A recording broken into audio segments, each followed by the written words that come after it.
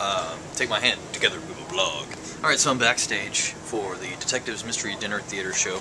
Here's our array of food backstage. Some ribs, some biscuits, some chicken, some sausage, some mixed vegetables, some slaw, and some potato salad.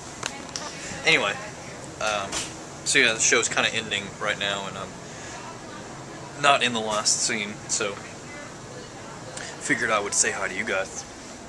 See if we can see the audience.